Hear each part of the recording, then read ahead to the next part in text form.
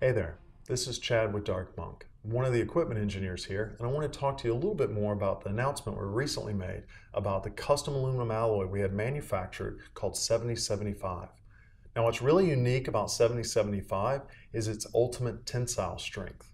And that term translates into how much abuse a prop can take before it's going to actually bend.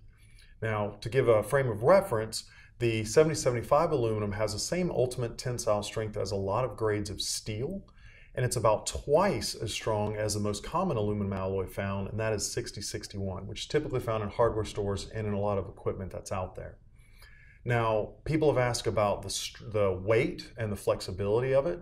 Now, all aluminum alloys actually have about the same when it comes to those properties. What's going to determine that in your prop is really going to be the diameter of the tube that you get and the wall thickness um, of that. So look for those things when you're thinking about weight and flexibility. We carry this in multiple sizes uh, to help you find the right uh, equipment for you. We also put in all of our equipment now, so you can find it there as well. Hope that's been very informative and helpful, and I really hope you have a great time spinning. Thanks.